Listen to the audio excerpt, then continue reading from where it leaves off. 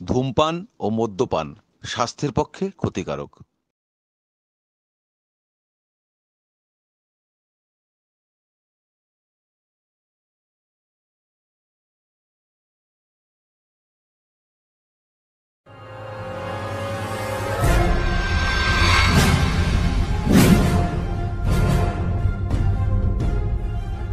শিশু শ্রমিক, এই কথাটার সঙ্গে আমরা প্রত্যেক দিনই পরিচিত হই। কারণ রাস্তায়, পথের ধারে, ট্রেনে, বাসে পথ চলতি মানুষদের চোখে শিশু শ্রমিক অবশ্যই চোখে পড়ে। এই ছেলেটি, এই ছেলেটিও একটি শিশু শ্রমিক। তার জীবনে কেউ নেই, সে ফেরিওয়ালা। কিন্তু আজ তার সারাদিনে এক টাকারও বিক্রি হয়নি। কারণ ওর শরীরটা যে খুব খারাপ, গলা থেকে আওয়াজ বেরোচ্ছে না। তাই সারা দিনে পরিশ্রান্ত হয়ে ও ভাবলো, আজ বাড়ি ফিরে যাই। কারণ শরীরটা ঠিক ভালো লাগছে না। আর ও যখন বাড়ি ফিরছিল, তখন পথে আমার সাথে দেখা। না, আমি ওর কেউ পরিচিত বা আপনজন নই।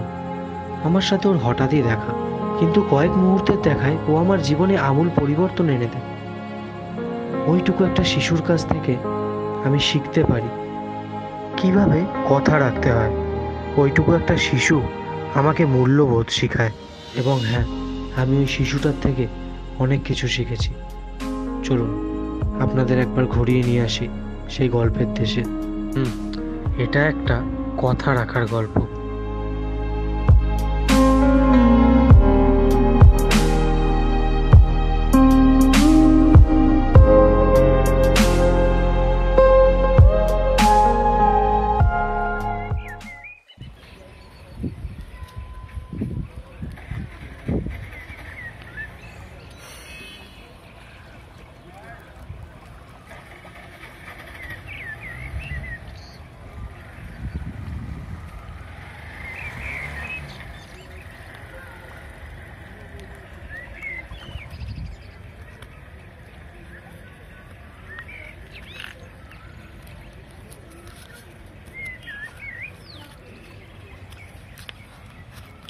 এই, কি হয়েছে রে তোর? জলটা।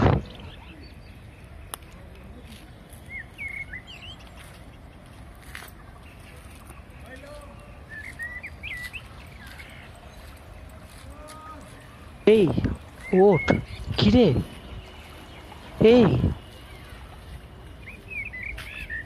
এই তোর বাড়ি কোথায়? এই রোদ্রের মধ্যে।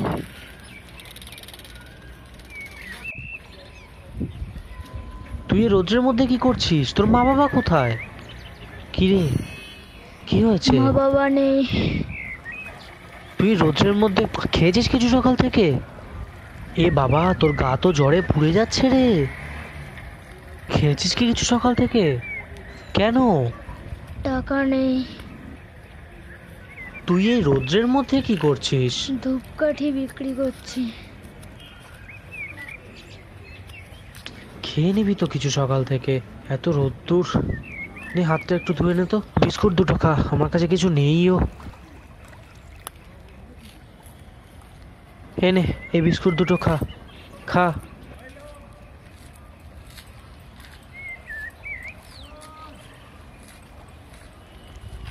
খেয়ে নে বিস্কুটটা, খেয়ে নে, বিস্কুটটা খেয়ে নে।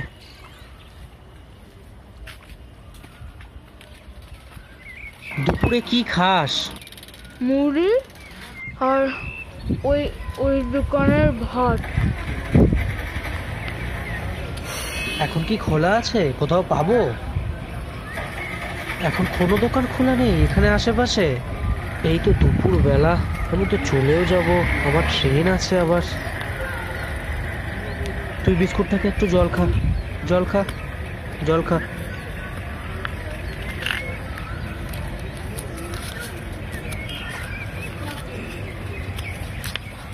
খেয়ে নে, জলটা খেয়ে নে তো ভালো করে। আর একটু খাবি জল?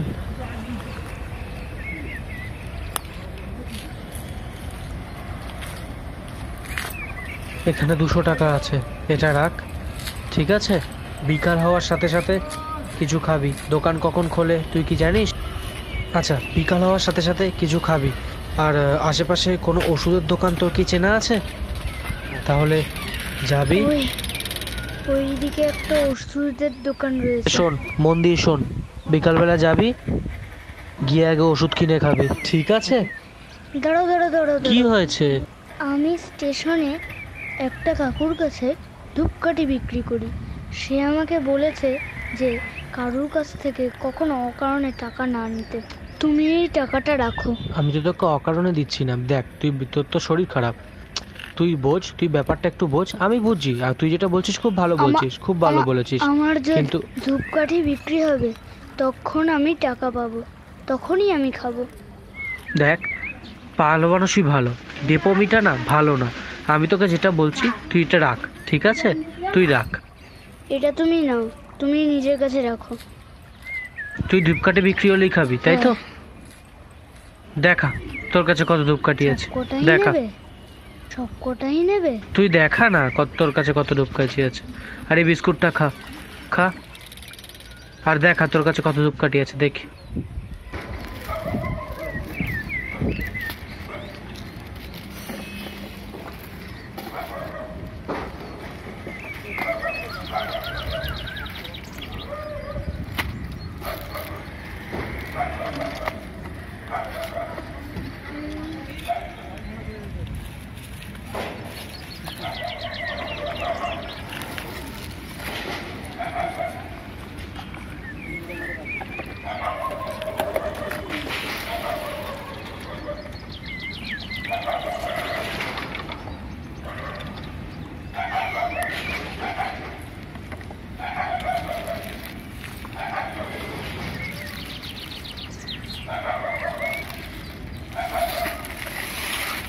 পুরো নব্বই টাকার ধূপকাঠি রয়েছে। বাহ তুই তো খুব ভালো হিসাব করতে পারিস রে। একবারে দেখে দাম বলে দিলি নব্বই টাকার ধূপকাঠি রয়েছে। আর এখানে একটা স্কুলে পড়ি। ওখানে খুব ওখানে খিচুড়ি দেয়। আমি সেখান থেকে এসে বিকেলবেলা ধূপকাঠি বিক্রি করি। তারপর সন্ধ্যেবেলা পড়ি। খুব ভালো কথা কিন্তু শোন আমি পুরো ধূপকাঠিটাই নিয়ে নিচ্ছি ঠিক আছে? টাকাটা দিয়ে দিচ্ছি পুরো ধূপকাঠিটাই নিয়ে নিচ্ছি। যেমনটা বললাম বিকালবেলা কিছু খেয়ে নিবি আগে হ্যাঁ? নব্বই টাকা বললি তো? এনে টাকা।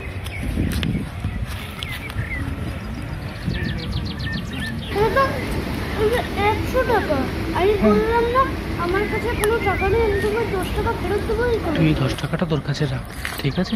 দশ টাকার জন্য ডেপমি করিস না ঠিক আছে? তোর অনেক ডেপমি দেখেছি একটু জল খাবি? না তুমি যদি আমার অকারণে টাকা দাও তাহলে আমি তোমার টাকাটা দিয়ে দিচ্ছি। আমি আমি সব দুধকাঠি নিয়ে নিচ্ছি। আমি তোমাকে দুধকাঠি বিক্রি করব তুই দশটা টাকাও নিবি না? আমি বললাম না আমি কারোর কাছে অকারণে টাকা নিই না।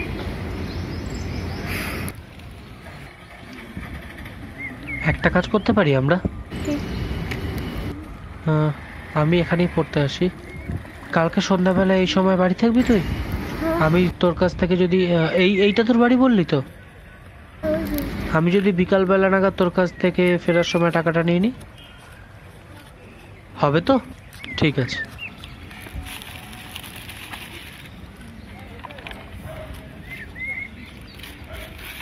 তোমার বাড়ির ঠিকানাটা দাও তো আমার বাড়ির ঠিকানা কে- করবি তুই? তোমার দেখে ঠিক সুবিধার লাগছে না। আমায় দেখে সুবিধা লাগছে না? তুই কি বলতে চাইছিস? মানে আসবে তো? এক চর দেব। আচ্ছা তোর ব্যাগ কেন নিচ্ছি? আমি আমার ব্যাগেই নিয়ে নিই ঠিক আছে। তোর ধূপকাঠি আমি সব নিয়ে নিলাম। জল খা একটু জল খা জল খা। টাকাটা না ব্যাগে রাখো। এই টাকাটাও হারিয়ে যাবে, আবার কালকে তুমি সারাদিন না খেয়ে থাকবে। ব্যাগে রাখ।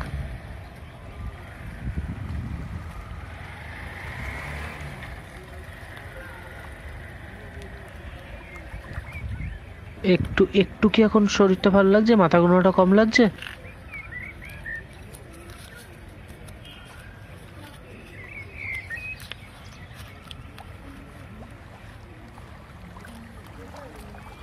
ওঠ ওঠ।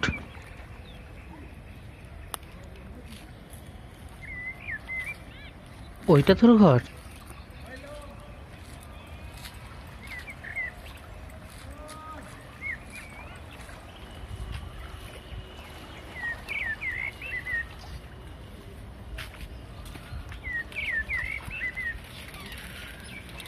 যেমনটা বললাম বিকালে আগে ডাক্তার দেখিয়ে নিবি কিন্তু ঠিক আছে? ওষুধ কিনে নিবি আর খেয়ে নিবি না খেয়ে থাকবি না। আমি আসছি। ট্রেনের টাইম হয়ে গেল। আসবে তো? আসব ঠিক আছে? টাটা।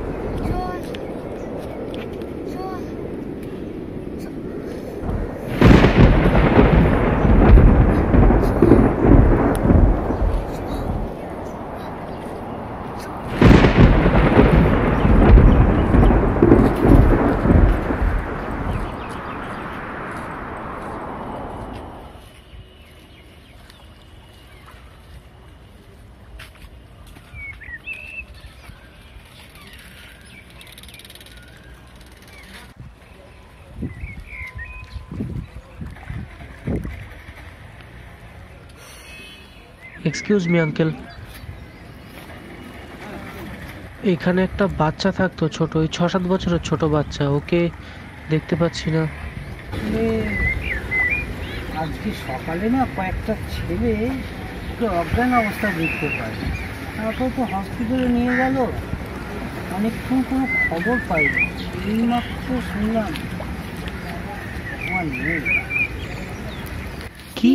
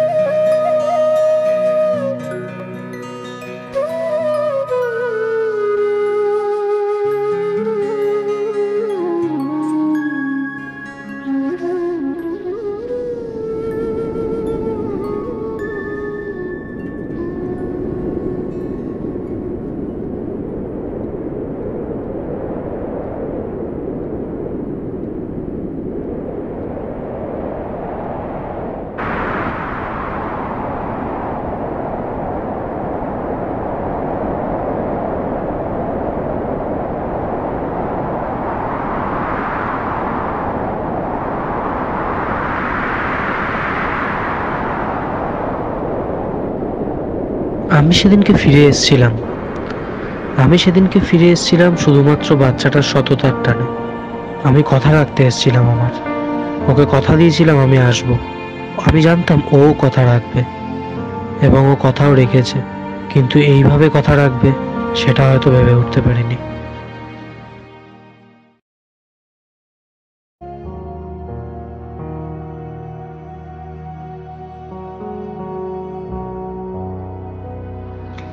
ভেবো না যে আমি মরে যেতে বসেছি। বরং উল্টোটাই সত্যি। ব্যাপারটা দাঁড়াচ্ছে, আমি ভীষণভাবে বাঁচতে চাই। হওয়া এবং হয়ে ওঠার মধ্যে থাকতে চাই। আমি অবশ্য হয়ে উঠতে পারব না।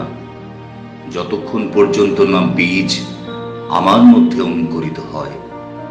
অঙ্কুর যা মাটি ভেদ করে উঠবে, আলো ছোঁবার জন্যে। কিন্তু মায়ের তার রং বর্ণ কালো, আর আমার গভীরে আমি, ঘোর কালো বর্ণের আমি, এমন একটি কুয়ো যার জলের মধ্যে রাত নক্ষত্রপুঞ্জ ফেলে যাবে এবং চলে যাবে মাঠ ঘাট পার হয়ে একাকী। এটা একটা প্রশ্ন যে এতকাল বাঁচার পরেও আমি আরও দীর্ঘদিন বাঁচতে চাচ্ছি।